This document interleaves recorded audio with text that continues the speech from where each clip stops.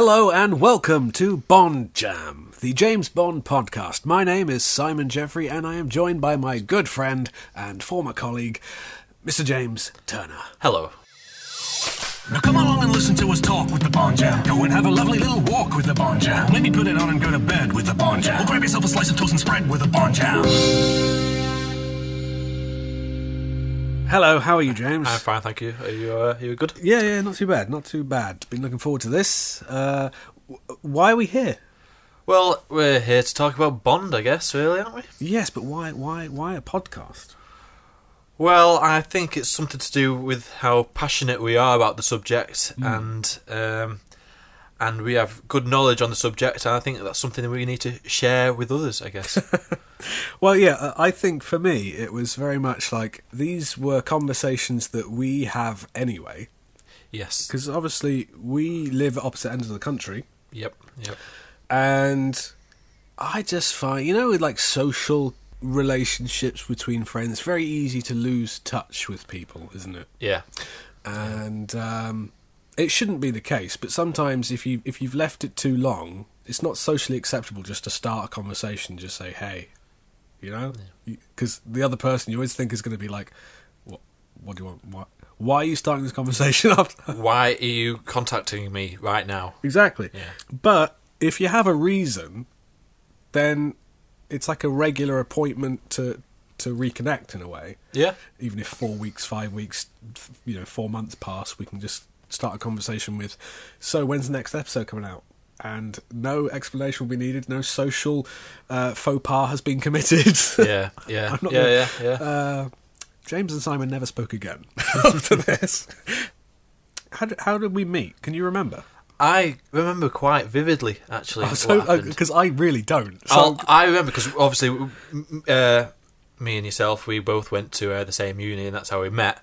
But um, we were in the same uh, characterization class, and if you don't know what that is, that's um, it was basically acting class. We did a performance. We did what is it? Media and Media performance performance, course, which was um, basically acting yeah, with a bit of filming and technical yeah, stuff. yeah. And I remember because I lived at home, I was there quite early, and we had to meet like four hours later in the centre of Manchester. And so I just went to the library to go on the internet just to browse the internet. Right. because obviously we didn't have smartphones back then. Well, some people might have done, but I don't think Was they were- this, don't was think two that was that- This was two thousand seven, wasn't Yeah. it? I didn't have one. I think No. the, I think the first iPhone came around that time. Yeah, but- yeah. So, um, so anyway, I remember being in the library. I think you sat next to me because you probably had the same idea, sort of thing. And Probably. I, sort, I sort of knew it, so I was like, oh, yeah, I wasted okay. a lot of time in that library.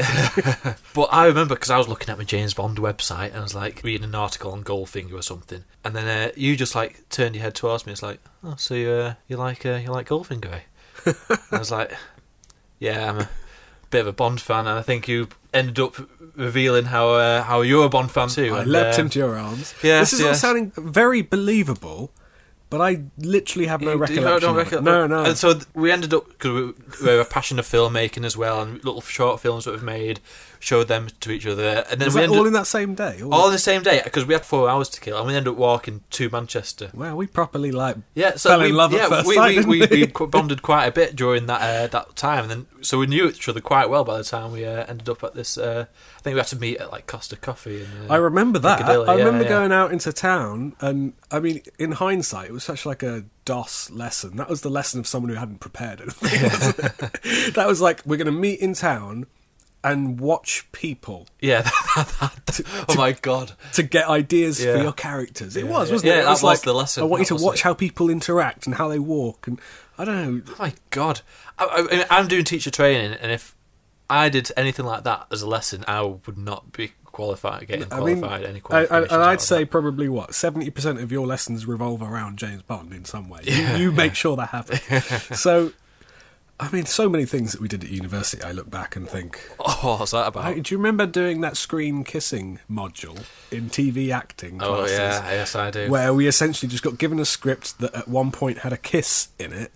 And we had to just act it on camera, one after the other, maybe 12 people in a group. Honestly, that was the weirdest lesson I've ever done because I remember sitting there going, "What the hell's going on?" But What- then everyone was just kissing around me, like snogging their faces off. Do you mean rehearsing it? But you were rehearsing, yeah. I yeah, didn't yeah, rehearse mine. Yeah. You not rehearse yours? We we rehearsed the words, but we never rehearsed the kiss. Oh, no. Did you do that? Did you re- did you practice the kiss? Yeah, we practiced it. Yeah. Well, I had two partners. Yeah, I know that. Yeah. Um, and I didn't practice with either of them. We just literally went through the words, and then we say sort of like, "And now we kiss," you know. And at the end of the lesson, did we all sit and watch the recording back as well? We tended to do. Yeah, I think. Yeah, I think so. Maybe. yeah. Hmm, yeah, I liked how you did that with your hand. It was the weirdest thing I've ever done. But there were a couple of people I remember saying, "Oh no, it is really important because if you get cast in a TV show, then you'll need to know how to do it." And I'm like, "I don't need to be told how to kiss. I've watched Bond films. I've seen Roger Moore sucking face." if you if you take kissing lessons from Roger Moore, you've you've gone wrong. uh, but yeah, very very strange. But I don't remember. Don't remember meeting you in the library, and I feel bad. Yeah. No, no, it's fine. Because I was trying to think when we met at uni, and I couldn't remember that instance. The, the the one that I really felt like we took our bond to the next level, if you pardon the pun, wasn't till third year when we were editing a project together, Yes. Yes. and we spent God knows how long, a couple of weeks in the editing studio at the Mm-hmm. university, and I was editing it, and you were pretending to help. yeah. I, I don't think I had any I reason think to be there. officially you were sound editor. I was. Yeah. For whatever reason, there was a lot of kind of waiting around. Were we waiting to render stuff or ex- I, I did think you did have to render like every two Final seconds. Cut wouldn't let you preview No, audio? You couldn't, you couldn't play it back properly. Whereas Premiere would have a go. yeah. Final Cut would be like, no, Yeah. it's not rendered. It would just beep, wouldn't it? Yeah. So yeah, we were forever having to wait for like a couple of minutes at a time because we were just rendering the whole lot every time for the hell of it. Yeah. That we would just be like, well, while we wait, why don't you try and put the Bond films in order of Yeah, preference? yeah, yeah. It started with like the obvious categories. So it was, it was favorite film, and then it was you know best villain, Villains, best. Bond girl, best song, things like that. Um, we uh, we did that for years, didn't we? Like, Yes, we kept yeah, coming back every time we'd do another list. Sometimes we'd do the same category again and compare. We what we did it all. Yeah. We did it all the way to Skyfall. That- Yes, we've not done any since Spectre, have we? No. well, this is sort of a replacement. This is the Yes, this is- evolution yeah. of that. But we uh, essentially we've been having the same conversations for about ten years or more now, Mm-hmm. which is a scary thought. Yeah. Oh my god. But yeah, so what Time were some of the more obscure things we ranked the films in order of? Uh, one of my favourite ones was sacrificial lamb effectiveness, which where we ranked the. So what uh, does that mean? What- th- we ranked the sacrificial lambs, so people who died and it was But meant to in- cause impact and emotion. in terms of emotional effect, emotional effect on the, on us as as, a, as an audience. So, member. what would an example of a good one of those be? I always liked Mathis's death Yes, in um, okay. Quantum of Solace. and, Uh, a, and a bad example, bad example. Luigi Your Eyes Only. Yeah, that is a classic classic one. Even though I do like Eyes Only. Well, did we do combined? Wasn't it It's co- combined? combined sacrificial lamb effectiveness. So I think- so. There was more than one. I think Countess Liesel would have Yes, bumped that yeah, up the list a little bit because I think yeah. we cared more about her. Yeah, yeah.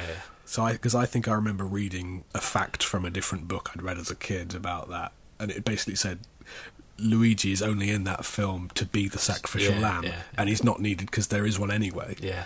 I think it was that essential Bond book that we both had. Yeah, that, was, yeah. that, that informed a lot of my opinions. Oh, I- uh, absolutely. It'll- almost to a fault. I Yeah. don't, and that's the thing with this podcast and, and what we hope from it is, um, on a selfish level, I want to do this because I like talking to you about Bond, Yes. and if no one else listens to it, then that's okay. Yeah. I'll probably still be listening to it. Obviously, we'd love you if you listen to it, and uh, uh, we'll tell you how to. You can contact us to let us know you listen to it. But as much as we both have our opinions on certain films and we've got our favourites, they're very subjective views. Some of them are very personal to us. And I think if we're honest, we both love the Bond series. Yeah. So even if we're critical about some things, like we still like that film. Yeah. For instance, and we'll get onto this in a minute, but we both, I imagine, came into the series at different times, and Mm-hmm. our first film would have been something different to each other. Yeah. And so that might mean that that film holds a special place in our heart. Yeah. When someone talks about a film that I really like and they point out something, I can sometimes say, yeah, I know, but I still love it. Yeah. And so there is always the possibility that my least favourite Bond film might be someone's childhood favourite, or the one they saw first, or the one they came to most recently, so it's the freshest. Whatever reason, there's a reason why someone might love any one of the films mm-hmm. the most. And so there was a couple, I won't name them because I can't remember them, but I wouldn't name them anyway. There was a podcast where within like the first sort of few minutes of them, they'd kind of basically said that film was a steaming pile of, you know, whatever. And it's like, well, I don't want to listen to this anymore. I don't really like your opinion Yeah. on this because uh, now I feel like I can't identify with you because you, you've, you've ruined my dreams. so, um, with that in mind, what was your entry point? Do you remember? My entry point is in terms of the film or my actual first. Like, what was your first experience of Bond as, as like that you can remember watching a Bond film? The first Bond film I watched was probably The World's Not Enough at the cinema. And you hadn't seen any before that, like on TV. I, oh, I'd probably seen bits of them, but I don't think I'd ever seen a Bond film all the way through. Hmm. Um, but that's the one where I, I go, "Oh my god, this series is this is a cool series. Oh, I want to find out more about this." And then the, the, the, the marathon on TV, and that's where, where I went, right. I'll go. It'll start from the start. Hmm. So I started watching Doctor No all the way up to Tomorrow Never Dies. And did you then watch them in order? That's when I watched them in order. So yeah, did you yeah. watch The World Is Not Enough, and then you were like, right, I'm going to dig out Doctor No. I did. Well, it was it was just on TV at the time Right. during the ITV marathon, the But you Double O didn't, you Heaven marathon watch that we had. Goldeneye or anything I else. pro- yeah, in fact, I I'd probably watched Goldeneye Hmm. and maybe Tomorrow Never Dies before then. So, Or, or Fend probably had it on video. so The World Is Not Enough. Then does that still have that special place in your heart? Do you think? yeah, because I mean, once it came out at the cinema, I watched it at the cinema, and I think we managed to get like a pirate VHS tape of it. We before it don't ca- condone Yeah, piracy yeah. in any form, and we recommend you buy a legitimate copy. But if you have to, then go ahead. Um, but I remember having that tape, and I'd just watch it over and over. I- and that, yeah, and that's that's why it holds quite I a high. I generally sp- I have memories as as a kid because I think people now are just spoilt for choice and what you can watch. Like Netflix means you don't have to watch the same thing more than once Mm-hmm. necessarily. But I remember being in a house where we, we probably had like a dozen films on tape recorded off the TV. yeah.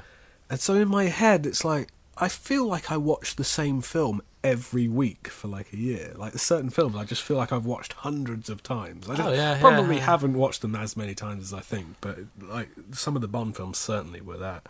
So for me, one of the first ones I remember watching, knowing it was a Bond film, was Tomorrow Never Dies. Yep. We'd rented that from Blockbuster Video Store, rest in peace.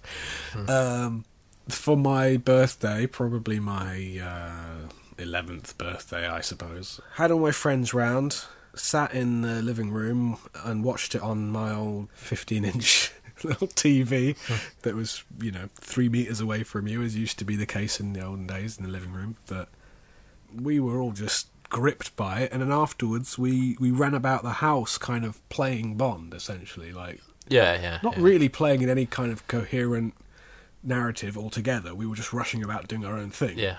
Shooting pretend guns at each other. yeah and i remember distinctly like i had a game boy and i would be putting it on the door and pressing the buttons pretending it was Hmm. Like unlocking it I think we've all been there, to be honest. yeah, and it just sparked something in me. And, and I remember ITV did a, did a run of the Bond films on TV called uh, Double O Heaven, which, if you Google that, you'll find something else now. but because because James suggested that as a name for the podcast, and I said no, no, I don't think we can. um, but I caught that from You Only Live Twice. That was that was the first one I caught on TV during that season of Bond films. So I didn't see the early ones until quite a bit later, but I caught mm-hmm. it from there, and I used to record them off the TV, and then I'd watch them like that week, and then if I didn't really think much to them, a couple of them I recorded over, Yeah. and I really regretted it later. It's just because like. You know, I was a kid, so I wasn't buying the VHSs myself. I think my parents had got us like me and my brother a blank tape each that we could record stuff on. So I was Yeah. like, I, it was precious real estate. You know? Yeah, yeah. Um, so I recorded You Only Live Twice, and I watched that to death, and I still love it to this day, just because it's sort of it's the most, or probably one of the most cartoonish of the of the Bond films. But I, as an entry point, as like a ten or eleven year old, it was it was just everything in that film. That film had everything for me. Um, but then there were films like Live and Let Die, which I didn't really get at the time. I don't think. I think I thought it was just a bit strange as Yeah. a, as a kid, and I remember recording over it. I recorded over Diamonds Are Forever with Live and Let Die, and then I recorded over Live and Let Die with The Man with the Golden Gun, and then I had The Man with the Golden Gun for years on tape, and I watched that to death. So I didn't see Live and Let Die again for probably a decade. Yeah. like just um, no, maybe, not quite that much, but Yeah, like yeah. quite a long time before I saw that again. And so that to me, weirdly, seems still quite fresh to me Yeah. because all those years in the meantime where I was rewatching these old tapes to death until they were unwatchable, that there was just that one of Rogers that I couldn't watch um, until I went out and started buying them on VHS at first. I bought some of the older ones I'd missed. I bought. From Russia with Love and Thunderball. Yeah. I remember going to Woolworths when that was around and buying them on VHS. Well, I remember buying them, and I think I missed Octopussy when I watched it on the Double Heaven that Double Heaven marathon. Hmm. And Octopussy was one of the last VHS. it's weird that we remember the same ITV Yeah, se- yeah. season of films. But um, that was probably the last of the old Bond films I watched, and that was like a whole new film to me because I, I didn't remember Roger Moore dressing up as a clown and anything like that. But it was, there was a picture of that in that Bond book. I was like, oh, I can't wait to watch this one because this is one of it's like the hidden Bond film that I've never seen. I'd seen Never Say Never Again over Yeah. Octopussy. Well, I realised when I rewatched Never Say Never Again that I had watched it years earlier and not known it was a Bond film. Yeah, yeah.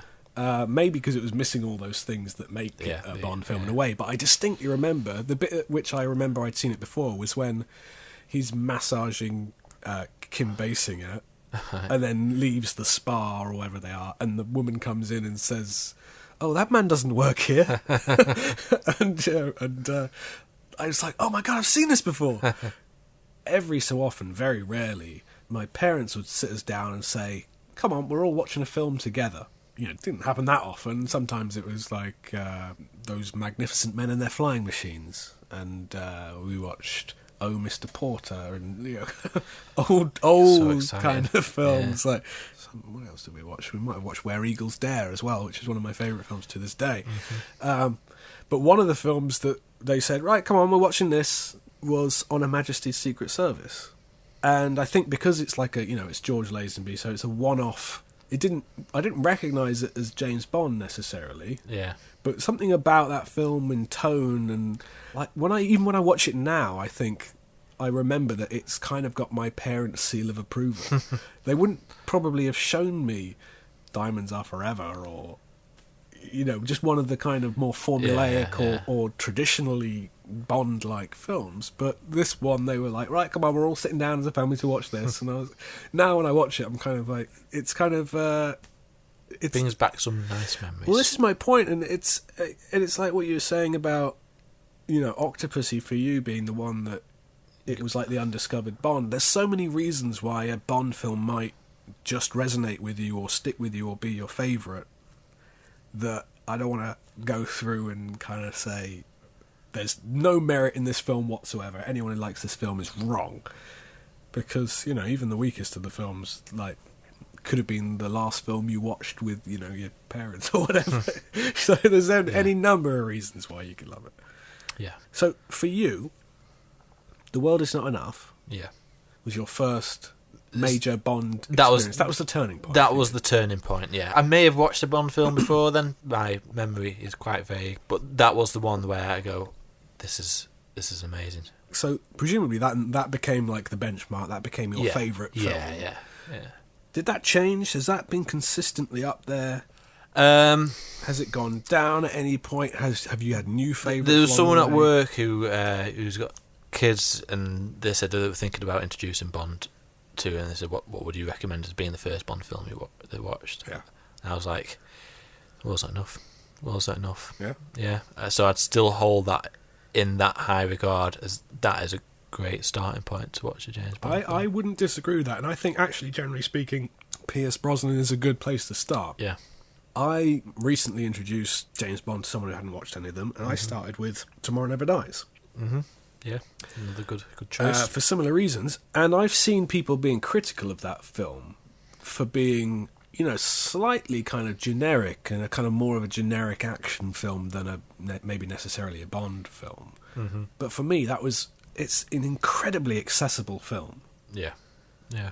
You don't need to know anything about the series. No, no, not at all. And I think the same applies. and it, was and it holds too. up Yeah. Mm-hmm. pretty damn well actually it's really well edited and put together all the emotional beats still hit the right notes and uh, yeah no doubt we'll get onto that in depth Yeah. when we reach Yeah, those absolutely. individual things uh, because what um, that we don't really have an overarching plan for this series but broadly speaking i think what we're going to try and do is cover go, Each individual go through the film, films uh, so uh, the next episode will be on Doctor No. Yep. We'll start at the beginning. Uh, but then in between the bespoke individual film episodes, we're going to be covering more specific elements of the film in more detail. So we might be talking about Felix Leiter one week or, or something like that, and that'll be completely random. That'll just be uh, what we what we think about as it comes along. Yeah, and a lot of that is kind of based off our original Bond list that we did back in the uni days. So it's kind of going full circle. It's really. taking all of that information and conversations we've had and kind of trying to put it through some kind of filter to make it uh, a coherent ramble. Yeah, yeah, but with structure. A ramble with structure. Yeah. so yeah, Hopefully, you'll join us for the journey. So, that was the first episode. I think that was a nice start. It actually reminded me of how we met, which was nice. I know. Well, that's a nice trip down memory lane. But, uh, it but gave me back a memory I thought I'd lost. But the episode, this episode is just kind of just just to get to know us, uh, and then if you want the true Bond stuff, then Yes, the proper discussions will start as of next episode, so stay tuned. Uh, in the meantime, you can follow us on Facebook at, at BondJamCast, and we're on Twitter at BondJamCast, and on YouTube at oh, what is it? it's Bond Jamcast on YouTube. It's the James Bond podcast. Uh, give us a search, give us a like, share it with your friends. Turn off your phone, James. You're so unprofessional. uh, I've just actually. I'll wait. Right, we're on we're on flight mode now. Do I have your attention? Yes. Yes, we're on YouTube, we're on Twitter, we're on Facebook. We might not say much, but we're there, so follow us and uh, stay tuned. Uh, that's all from me. And me. Okay, see you next time. Bye. Bye.